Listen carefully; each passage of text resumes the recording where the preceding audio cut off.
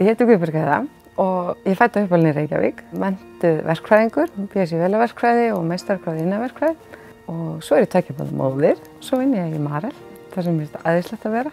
Þegar kemur að starfsferðlinum þá sumt svona kannski daldi útpælt en annað bara einhvern veginn gerðist þar sem maður er alltaf einu rétt manneskja á réttum stað á réttum tíma. Og ég kem hérna inn og veit náttúrulega ekki neitt sko. Það er bara að vinna og svo fer maður svona að skilja hvaða styrkleika maður hefur, hvernig maður getur nýtt sér það og hvernig þeir passa inn í eitthvað samhengi hlutana.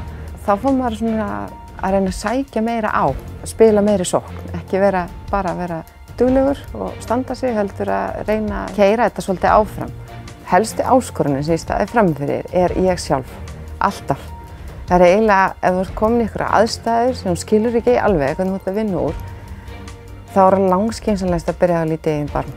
Sko hápunktanir kom oft sko svolítið svona eftir á.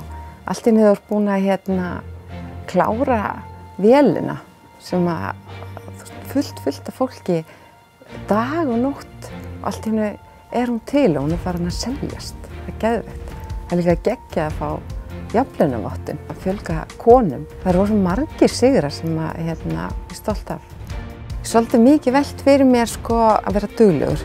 Það fer yfirleitt ekki saman að fá stöðahækkun eða vegna vel og vera duglegur. Það eru aðri þættir sem spila inni, við eigum að vera útsjónasamar og hugsa þetta alltaf strategíst hvað við erum að gera. Þegar þú fer að vera útsjónasamur og pínlítið sniður og svolítið svona spila leikinn, þá fer þetta að vera svolítið gaman.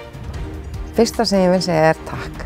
Það er ótrúlega ánægilegt að hérna, einhver segir þetta er vel gert og maður á að þykja það. Það er ennþá þannig að, hérna, að það væri gaman að fá meira jafnvægi í samfélagið og það væri líka gaman að fá meira jafnvægi þegar kemur að stjórnundastöðum og, og völdum og auði.